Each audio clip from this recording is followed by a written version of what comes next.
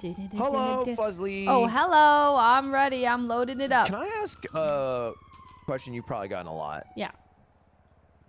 Where's Fuslie from? My name's Leslie Fu. And then like Okay, so Wow. the- Sorry, I don't no, care anymore. No, stop, stop, stop. I'll tell you the real story, okay?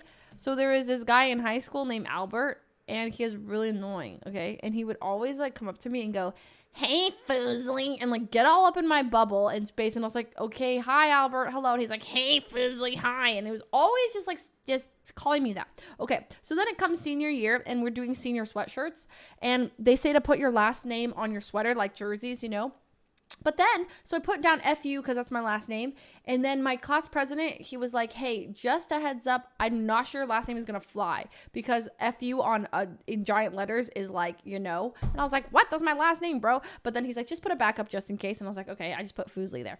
And then it came back with Fuslie on my sweater. And everyone else had their last names. And mine had Fuslie on it. And I was like, whatever. But then time came time to make Instagram accounts. And I was like, well, I already have Fuslie on my sweater. So I'll just put Fuslie there. And then by the time I was like, make a Twitch account, I was like, well, just, yo, use my Instagram account. It was never meant to be like a big streaming thing, kind of whatever. And then it just was like, yeah.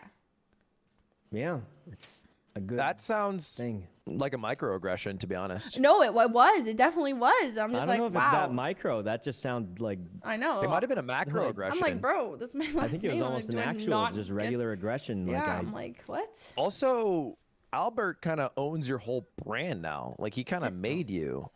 He does, Um, but I don't know. You know, he was a little. Albert kind of made you. He didn't though. make- Weirdly, I mean, like, right? He literally made it though, right? Well, he did make Fuslie up, and I didn't like it at first. I was like, stop calling me that. And some people would just call me like F you. They'd be like, hey, F you. And I'm like, hey. Or they'd call me Where like, did you go to school? Is This is in NorCal. yeah, NorCal.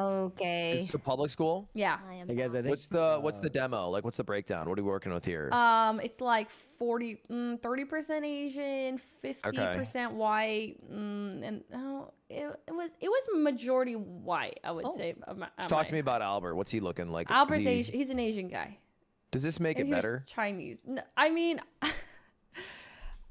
don't know. He was just annoying, man. He just called me Sure, Fu- sure. all the time.